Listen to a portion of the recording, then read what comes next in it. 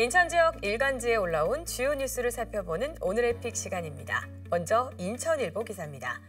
인천 지하도 상가는 코로나19에 이어서 지난해 11월 상가 임차인들의 불법 재임대 금지 시행 여파로 휴업을 하거나 또 폐업을 하는 점포가 늘고 있는데요. 관련 기사 첫 소식으로 올라와 있습니다. 지난 4월을 기준으로 휴업 점포의 비중은 15% 그리고 공실률은 5.6%로 나타났는데요. 이런 가운데 인천시의회 산업경제위원회는 지난 3일 인천시 지하도상과 관리 운영 조례 일부 개정 조례안을 수정 가결했습니다. 지하도 상가 상인들의 공유재산 임대료를 5%에서 3%대로 낮추되 이 적용 기간은 2025년과 2026년 이 두 해로 제한한다는 내용인데요. 하지만 이 다른 공유재산 임대자들과의 형평성 문제 그리고 이 세입 축소는 풀어야 할 과제로 남아 있는데요. 특히 이번 임대료 감면이 지하도 상가를 수의 계약한 상인들에게만 적용이 되고 입찰 계약한 점포에는 적용되지 않는 점도 문제로 꼽히고 있습니다. 이어서 경기일보 기사 살펴보겠습니다. 현재 옹진군 덕적고 야구부 선수들은 총 7명만 남아 있습니다. 관련 기사 두 번째 기사로 올라와 있는데요. 자세한 기사 내용 살펴보겠습니다.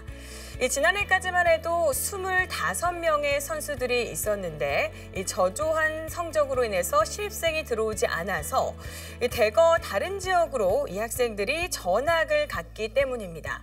이런 야구부 선수들의 이탈은 야구부 해체는 물론이고요. 이 덕적교를 폐교로 내몰고 있는 이런 상황까지 벌어졌는데요. 이에 관계기관이 야구부 지원에 나섰습니다. 인천시 교육청과 인천시 그리고 옹진군 등이 문제 해결을 위해서 머리를 맞대고 있는 상황인데요. 인천시는 이 덕적도를 찾아서 전용 기숙사 건립 등을 검토하고 있는 상황이고요. 또 시교육청은 우수한 선수를 확보할 수 있도록 노력한다는 구상입니다. 계속해서 기후일보 기사 살펴보겠습니다. 인천 여성영화제가 올해 20주년을 맞았습니다. 관련 기사 마지막 기사로 올라와 있는데요. 자세한 기사 내용 살펴보도록 하겠습니다. 인천 여성영화제는 지난 2005년부터 인천 여성회 등 지역에 있는 민간 여성단체들의 주관으로 개최해 왔는데요.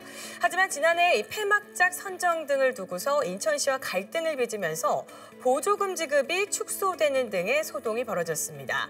결국 올해 영화제는 여성단체가 아닌 사단법인이 운영을 하게 됐는데요.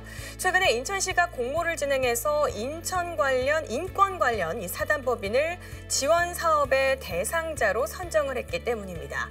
인천시는 올해 인천 여성영화제가 오는 11월 25일부터 양성평등을 주제로 진행될 예정이라고 밝혔습니다.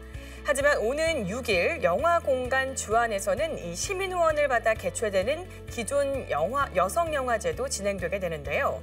결국에 같은 이름으로 행사가 두 번이나 열리는 상황이 일어난 겁니다. 지금까지 지역 일간지 기사로 본 인천 소식 오늘의 픽이었습니다.